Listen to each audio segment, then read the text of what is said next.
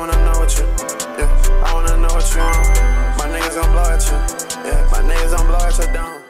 Uh, hello, B Plus gang. How nice of you to join us today on this exquisite Paris balcony, overlooking the entire city while I order things that I just can't pronounce. All from this bougie upscale restaurant here. And now before I end up having to pretend to look for my wallet and ultimately have you pay for this luxurious candlelit dinner, instead I want to take the time to have a difficult, but hopefully very productive and interesting conversation. Yes, you have not been misguided by the video title and thumbnail. Today we're actually going to be talking about the tales of the diddler and his right hand man or a woman, I should say, his shorty wop, if you will. And that woman is artist Yung Miami. Now, if you really don't know, in the past couple of months, and honestly for the better part of a year now, a lot of Diddy's most disgusting and vile behind the scene acts and behaviors have openly just been exposed to the entire public eye. My behavior on that video is inexcusable. Leading to many of the public figures that closely associated with Diddy throughout his career to being implicated in his debauchery. Some notable names you might recognize are Meek Mill, You deserve it, daddy. singer-songwriter Usher, Back in the days when he was like 10 and I was a little bit older, his older brother, we used to fight over the over the frosted flakes. Ellen DeGeneres, This group of kids had a dream to dance with Diddy. Today that dream came true. and right on topic for today's video we have Yung Miami. Now actually after creating the script for this video, Diddy was captured by the FBI in September of 2024. How they let this hooligan run wild for this long with this extensive history and detailed rap sheet of freak off participations, it's beyond me, but I gotta applaud them because they finally did it. I mean, I've been hearing stories about things that I didn't even understand with what was going on at these Diddy parties, even when I was just a kid growing up in this cruel world. The FBI got in there and they put Diddy in handcuffs, confiscating all of his baby oil and hopefully putting an end to his reign of terror. I never could have imagined that one man would find a need to be in possession of over a thousand or 10,000 bottles of baby oil, was it? But if any man would be that guy, it would be P. Diddy. So, uh, good riddance, man. I'm not gonna lie. I mean, the federal court system has a conviction rate of like 90 something percent, so it's most likely GG's for Diddy at this point. But, uh, back to the main topic of the video. So, some of these other people I mentioned were certainly close friends and associates of Diddy. You know, these guys probably attended a good handful of Diddy parties in their day, but where Yung Miami differs from the rest of these cats is that she was probably the closest person to Diddy leading up to all of his bad deeds being aired to the public. So the two of them had this very weird relationship where they were somehow outwardly one of the biggest power couples in hip hop, but the both of them were also both openly sleeping around with whoever they wanted and being messy in the public eye. Diddy also got another woman pregnant when they were allegedly still together. So this led to everybody for a while calling Yung Miami a glorified side chick. That's kind of what it looked like for a while. And Yung Miami would get into a fight with one of Diddy's other mistresses on Twitter. She's out here like defending the spot in his in his hierarchy or something. I mean, with what we know now, can we even call what they had a real relationship at this point? You know, I can't answer that, but I think it is safe to say that Yung Miami was a staunch supporter of that lifestyle that Diddy was able to offer her. You could even make the argument that she was his biggest supporter. So, okay, all right follow me here. If we're thinking logically, we understand that Diddy was able to somehow coerce and pull a bunch of different people that were somehow connected to him on a purely business level and he drugged them into his debauchery, then it's safe to say that the people within his true inner circle, if not participating in what was going on, they definitely had to have an idea of what was happening. That means for the most parts, right? We can assume that Yung Miami participated in them Diddy parties and she indulged in the lifestyle that Diddy offered her with the Birkin bags and the vacations and the freak offs. And this is kind of corroborated in these court documents that was shared a couple months ago. And if the information from those documents are to be believed, then Yung Miami is actually way further implicated in relation to Diddy with all of his illegal dealings than we might have initially thought. Like she unironically may have contributed to helping him maintain his revolving door of unsuspecting and vulnerable women. Ladies and gentlemen in the B plus crowd, there has been a break in the clouds. It's a bit different from all the other days because after months of radio silence from Yung Yung Miami and her camp after fans and onlookers demanded some much needed answers and explanations to their questions. She finally did the thing and spoke up, breaking her silence. And her and good friend of the channel, Saucy Santana, would kind of give us some answers. I mean, I guess. Now, they ended up doing this whole dramatic podcast episode where Yung Miami was able to tell her side of the story amicably and unchallenged. Right away before even watching this video, I'm kind of going in with a bit of side eye, just from the whole framing of this thing. Having your best friend ask you a bunch of softball questions is certainly an interesting way to go when you're trying to answer for this sort of thing. Because off rip, I know that because of whatever relationship she has with Saucy, he wouldn't want to, let's say, intentionally do something that could make Yung Miami look bad, like press her on a question. And I was genuinely trying to go into this whole interview with an open mind despite reading all of those court documents before, you know, so I wouldn't just write Yung Miami off and potentially victim blame her. But the real problem starts to kick in for me, at least, when I realize that Yung Miami is doing what many public figures tend to do and is trying to take control of the narrative and ultimately rewrite history. And it's a lot of allegations. And so I think that's what makes people feel like, well, since you were so heavily involved, you were a part of these things or you were around these things. So, what was your experience like dating him? And I met Diddy when the world was celebrating him and giving him his flowers while he was alive. So I was celebrating him with the world. And I just feel like everybody trying to crucify me for it. Like, you was you was his biggest advocate, you was his cheerleader, but I was just celebrating when the world was celebrating him. Mm-hmm. So why am I being crucified or why am I being separated? I even asked him like, why you fucking with me? Why you fucking with a city girl? Why you coming into my world? Like it's easy to create the the idea of beauty that a man would be appealed by. So what makes you special? Is it because you had some fame? No, Diddy's messed with way more famous women than you. Like, pull at this. Self-respect is the kryptonite of rich niggas. They don't want to be around you when you're saying, ah, I'm not doing that.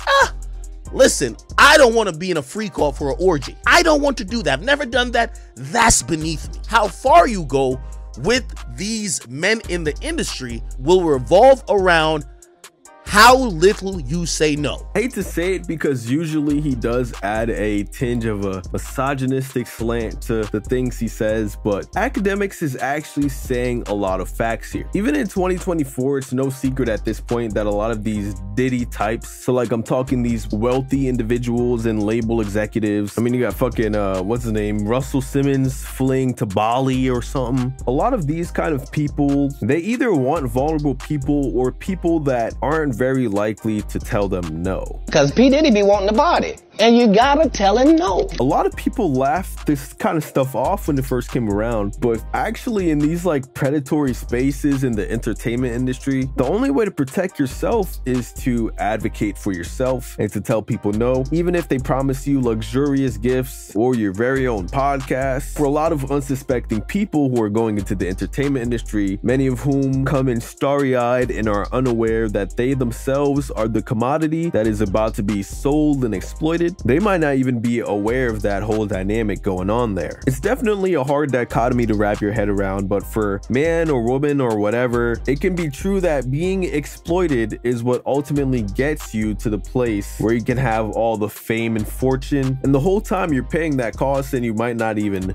know. So that's kind of crazy, but uh, let's continue here. So a lot of the a lot of the things that people really like say about him, you didn't experience that as in dating. That's not something that you saw. So is that the reason why when all of these allegations and lawsuits came apart, like why didn't you speak? Because I can't speak on something that wasn't my experience. And I can't speak on something that I don't know.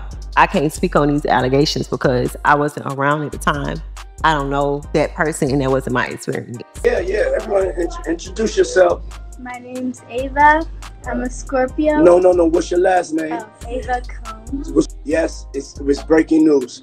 Diddy adopted a white child. I was on the streets, and then Papa Combs decided that he would like to be a caring man.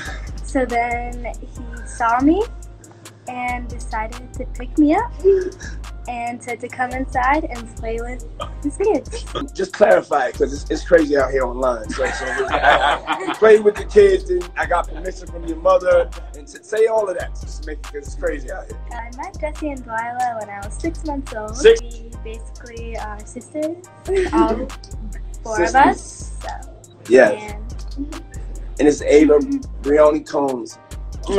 I'm sorry, but I believe that this is actually just blatant lying and like the spreading of some misinformation out there. I think anybody who's paid close enough attention to these Diddy files and the people close to Diddy can see she is lying out of her ass. There's like interviews from back in the 90s of people talking about the crazy P. Diddy was getting into. So if P. Diddy allegedly engaged in this kind of disgusting behavior since the 80s and 90s, meaning he has over 30 years of learned experience from participating in freak offs and getting other people to do his bidding for him, even while ignoring the fact that Caresha definitely has her own allegations she needs to face. But what logical sense does it make for Diddy, who at this point is a confirmed serial to magically transform into a well-adjusted guy like overnight and then maintain that facade for multiple years as he dated Yung Miami. And we see them arguing with his other partners on twitter so i just know that's a fact that it was not clean and cut behind the scenes. So i guess while it could be true that Yung Miami somehow got preferential treatment and never saw that side of diddy how likely is it that she never even witnessed him being a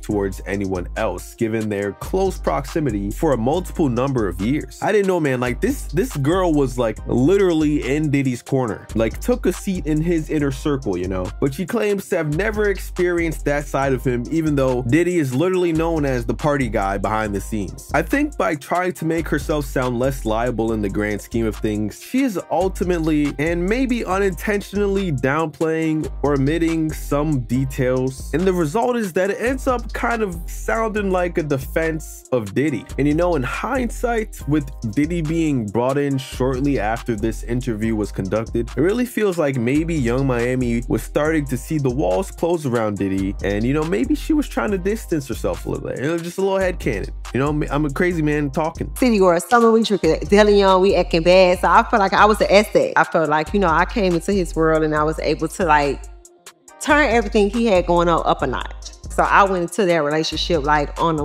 on a like more of like I want to become a mogul and I want to learn up up under you. Know, most people just want to get their body done. You want to get the trip. You want to uh-huh, just do that video. No, I wasn't one of them. So with all of the framing she's given us so far, her story is that nothing really inappropriate happened between her and Diddy. They dated for years and she never saw him act how everybody says. And if anything, their relationship was actually a beneficial one because she was able to learn and do business with him. So, you know, ignore any mess you saw on Twitter with her arguing with these other side chicks and baby mamas. it's all good now, man. I know this is supposed to be her telling her side, you know, and challenge her truth or whatever. But my guy, this is kind of sounding like some uh like Stockholm Syndrome 101. Casual sweeping for the Diddy man over here without outright saying anything that happened. Next, she really moves on to start talking about her relationship with fellow City Girls member JT and how that whole relationship broke down and what happened when they fell out with each other. Essentially, she says that things got rocky between her and JT, and since she was living in Miami with Diddy and JT was living out in LA, that didn't really leave much room for collabing or getting together on just like a cordial meetup, just hanging out, which is bullshit if you ask me. I've recorded music for years, sometimes with people halfway across the globe. All you really got to do is just send them the vocals or the stems or whatever. But anyways, I digress. I just didn't agree with that statement. All of this tension they were having built up to them having a spat on social media, and that made the rift that was growing between them even larger. But you know, our guy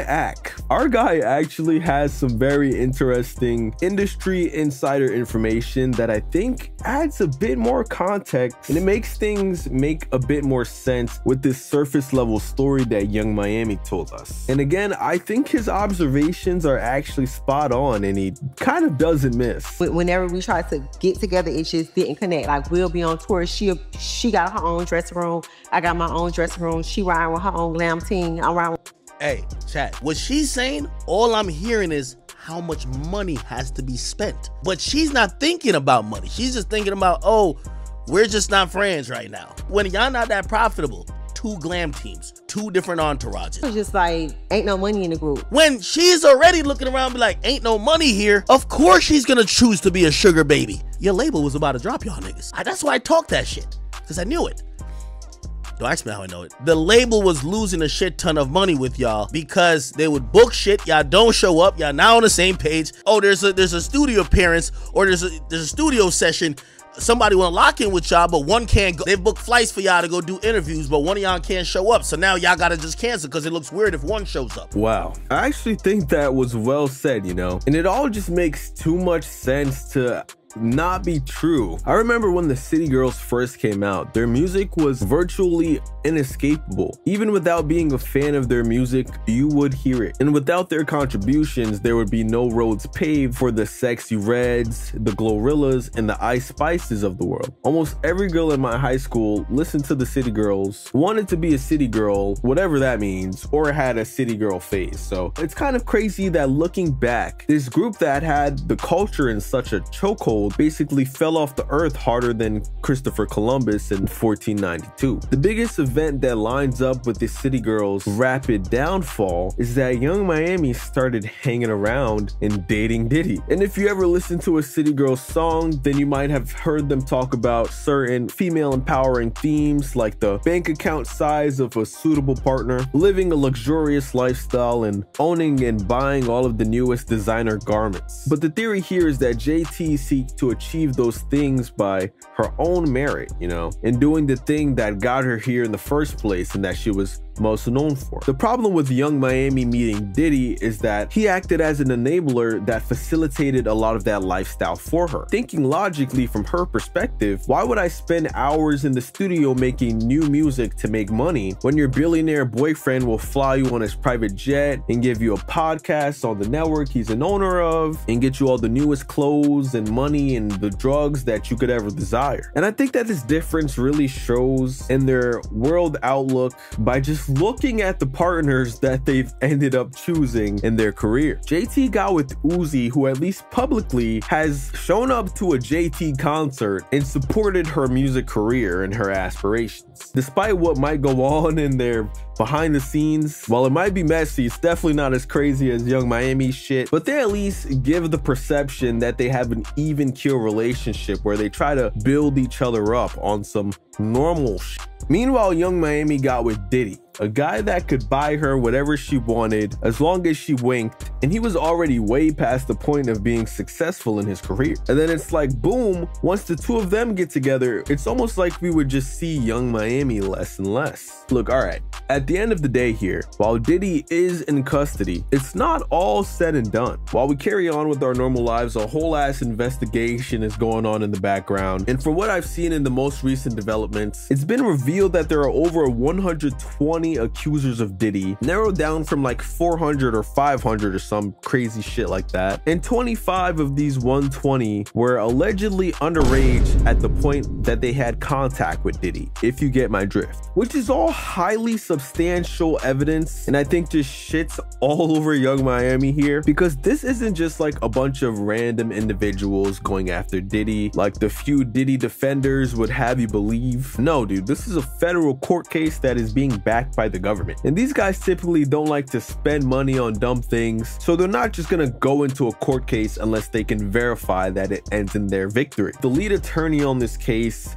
is dropping absolute bombshells on us, and he says that the case will be revealing a definitive list of Diddy's closest confidants and accomplices. So who knows, maybe our favorite city girl will be making an appearance on that list. Maybe we'll see Mr. Beast on that list. Who knows? Anything can literally happen at this point. But anyways, what's your guys' take on this whole situation here? Do you think that Yung Miami maybe knows a bit more than she let on in this interview? Or do you think that she made a good case for her innocence and lack of knowledge? Whatever your opinion, let me know down below in those comments. And if you made it all the way to the end of this video, maybe consider leaving a like or even subscribing for more goaded B plus content on the channel. But if I don't see you down there in those comments, then stay safe, of course, and I'll catch you on that next video.